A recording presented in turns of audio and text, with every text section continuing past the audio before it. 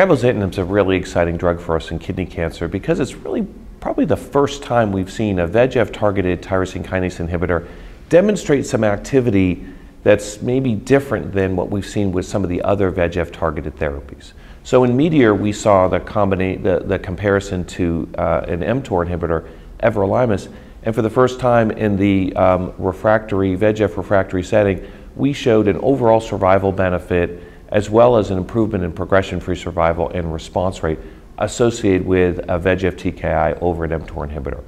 And then with CABOSUN in the frontline setting, compared to sunitinib, which no agent had really been able to show any kind of clinical superiority to, in patients with intermediate and poor risk disease um, in the CABOSUN study, uh, cabozantinib demonstrated an improvement in progression-free survival, a higher overall response rate, and at least a trend in terms of uh, improved overall survival in favor of that arm over, over sunitinib, really suggesting for the first time that these drugs may not be equal and there may be a population that benefits from an agent like cabozantinib.